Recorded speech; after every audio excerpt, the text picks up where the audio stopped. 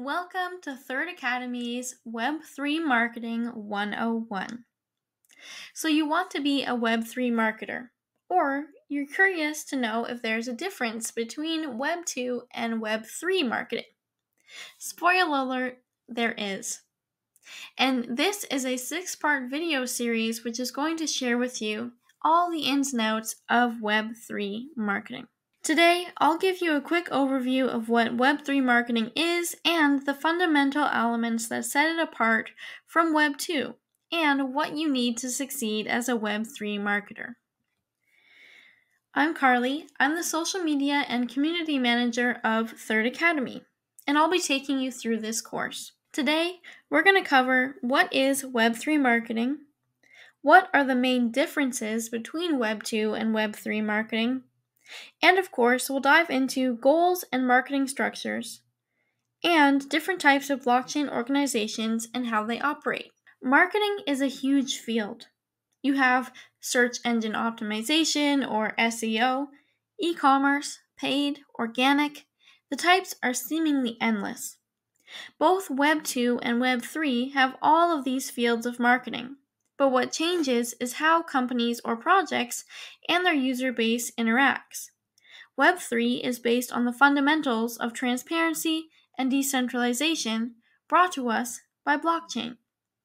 This means businesses need to be more user centric. Oftentimes, those same users have a financial stake in the company, so they want clear reports. And that starts with marketing as the first layer of contact many users have with a company. Web3 also promises users greater ownership over their data and content. Now, this goes back to transparency, but it also throws a serious wrench in any Web2 marketer's bread and butter analytics. If you work for a Web3 business that interacts directly with the blockchain, the type of data that you have access to will likely change. If you want to get into the weeds of this, we have an article series about Web 2 versus Web 3 analytics in our website library. But before you panic too much, there are still some traditional user analytics. This is because user interfaces in Web 3 are still commonly built on Web 2 infrastructure. But more on this later. Going back to how the user base is now essentially a decentralized board, marketers now have to engage with their audience differently. Web3 marketing is not a one way street. It becomes a conversation between the marketer and the potential users, the community of existing users, and at the core of Web3, developers. It's no longer about talking to an audience, but cultivating a meaningful conversation in a community. So, to break it down, what changes in Web3? Well, a number of things, but these three are really important. Number one, how decisions are made is often decentralized to token holders. This means company hierarchies hold a lot less value. Number two, how value is transferred is all on chain. First, there's room for more automation and less intermediaries.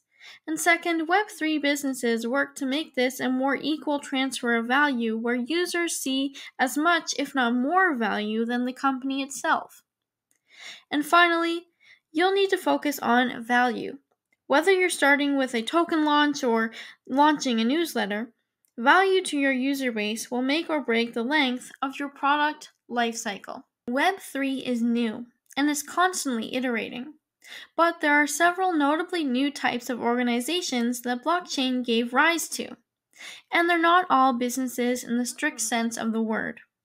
These include blockchains themselves, decentralized apps, DAOs, DeFi, and NFT projects. And of course, exchanges that facilitate the movement of all of this, both centralized and decentralized. Don't worry if that seems like a lot to take in. We'll dive into each of these with examples so you can see what they actually do. Blockchains are the underlying infrastructure. They use distributed ledger technology to create decentralized, immutable records. This makes everything trustless, Many of the third party intermediaries we currently rely on to authenticate transactions aren't really needed. Bitcoin and Ethereum are the two most famous blockchains, but There are more third generation blockchains now as well, like Solana and Cardano. Even layer 2 solutions that operate on top of a layer 1 to fix some of its issues, like Polygon. Because these are literally networks that seek to decentralize power, they have very strange company structures. The actual blockchain is governed by token holders, and they're able to make key decisions. However, due to the complex and very technical nature, they often have core devs. These developers help with operations and maintenance. On top of that, it's common for a blockchain to have a foundation that holds a large portion of funds for development of the ecosystem. Their goals are to get more developers to build more decentralized apps in their ecosystem and more token holders for liquidity, essentially making trading tokens hosted on blockchain fast and seamless. Then, to facilitate the trading of assets stored on the blockchain, you have exchanges. These come as both centralized, basically the same company structure we're all used to from Web 2, and decentralized, user owned and controlled.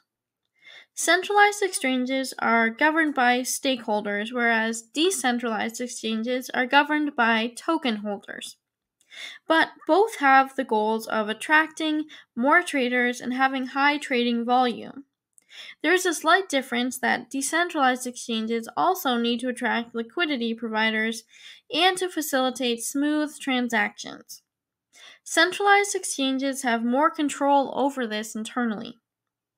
Coinbase and Binance are probably the best known centralized exchanges, and Uniswap and SushiSwap are well known decentralized exchanges. Now, distinctions start to blur a bit. You can think of these categories as a Venn diagram.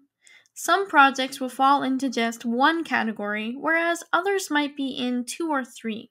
Decentralized finance, or DeFi, is an umbrella term for projects that use on chain protocols or code to execute the same sort of financial service, and some new ones, that were used to form banks and investment platforms. So this can range from projects like MetaMask, which is a wallet, think bank account to store your on chain assets, to Curve, which is also a decentralized exchange. There's a great degree of crossover between DeFi and other blockchain organizations, but the key is that DeFi projects are all offering financial services. This means that DeFi projects can take different forms, so you'll have to investigate on an individual basis to see whether they're governed by token holders or a centralized company. But in general, their goals are to get more users, which is common for marketers to focus on, and more volume. DAOs, or Decentralized Autonomous Organizations, simply refers to an organizational structure you can think of a normal company structure kind of like a pyramid where the person in charge is at the top and everyone else kind of filters out along the bottom. Whereas in a DAO, it's more like a horizontal structure of power where it's distributed evenly. Many Web3 organizations have already or will have the goal to become DAOs to better align with the goals of decentralized ownership. For instance, Uniswap, a decentralized exchange, is also a DAO. This simply means it's governed by its token holders. But you also have many other examples, like Friends with Benefits, which is a social DAO, where each member gets a say in the direction of the organization. Or there's also Meta Cartel, which is a decentralized VC. Token holders determine who they invest in. Because a DAO is just a manner of organizing, they can have a huge variety of goals but in general, all DAOs are looking to manage systems and get more contributors. dApps, or decentralized apps, are applications built on the blockchain for a decentralized structure. While this might sound a lot like DeFi, it demands a category of its own because the types of applications can go well beyond finance. For instance, you have OpenSea, which is an NFT marketplace, and Axie Infinity, which is a decentralized game but you also have financial applications like Aave and Compound. While you might assume that because they're decentralized, this means that they're all governed by token holders, this isn't necessarily true. Many are, but a few use the decentralized structure to provide greater ownership and transparency to users, but the project itself is still run by a centralized company. So, once again, you have to assess project by project. And because of the great variety of decentralized apps out there, it's also good to look individually at the goals of the project themselves. But in general, most again are looking for more users and more volume.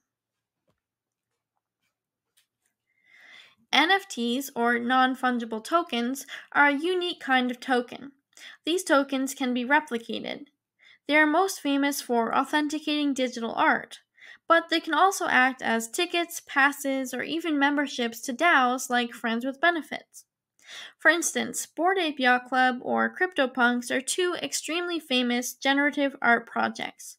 But you'll also have the platforms that facilitate trading of such visual assets like OpenSea, SuperRare, or Rarible. Because of the broad use cases for this type of token project, they can have radically different structures. Take an individual look to see if they're governed by a centralized company or the token holders. Most NFT projects are looking to build a big and active community, sell out quickly, see wide distribution, and see continued trading volume for long term value and royalties. Although, more recently, there have been some shifts towards a more sustainable and long term NFT project structure. Alright, that was a lot, but it gives you a good overview of this market and a place to start. There are three main takeaways that I want to leave you with today. Number one, the target market looks different. How you talk to your audience or talk with them does need to change. Think community rather than audience. Number two, the split between decentralized and centralized can really change how you work and even who you work with. If you're just getting into this space professionally, remember that you might have to adjust how you work. And number three, finally, this is just the beginning. We touched on some of the new types of blockchain organizations and their goals, because that's important as a Web3 marketer. But this is not an exhaustive list. You can also find VCs, custodial services, agencies, and more. And just about all of them need marketing. Thank you so much for joining us for this Web3 Marketing 101. This is just the first video in a series of six videos, which means we have five more to go. Don't forget to follow, like, and subscribe. Next week, we'll dive into audience and channels. And if you haven't already, join our Discord. There you'll find more resources, other marketers, events, and more. And I'll be there to answer your questions. See you next week.